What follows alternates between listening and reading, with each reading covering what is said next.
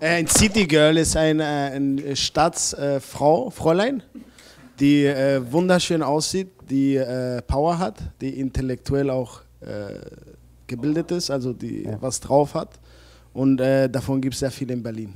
Und die 3000 Follower hat, glaube ich, bei äh, Genau, der hat äh, unheimlich viele äh, Folger bei Facebook und die veranstaltet immer so Freunde. äh, Konversationen über Facebook.